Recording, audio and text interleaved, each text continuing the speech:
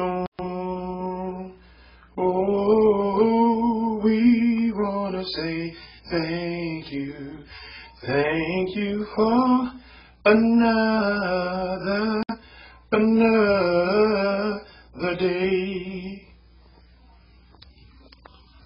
Good evening, everybody, ladies and gentlemen, brothers and sisters. Today I will bring you the word for today if you have not been to church.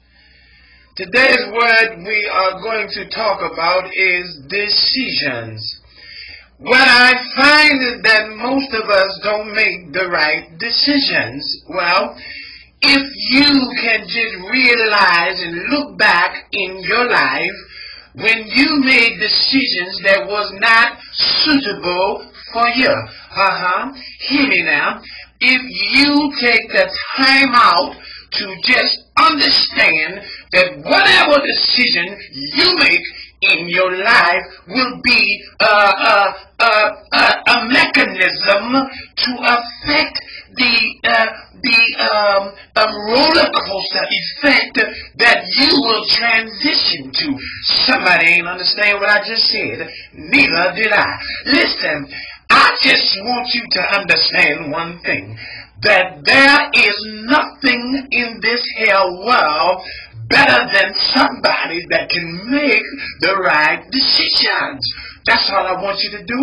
And if you make the right decisions, believe me, things will go smooth in your life. Listen, I'm not going to hold you that much further, but I just want to say something real quick. There's somebody out there that needs prayer. If you desire prayer, you can call me anytime. I will make sure to have the number on the bottom of the screen. If you do not see the number at the bottom of this here screen, is that's because Cricket has not turned my phone back on yet.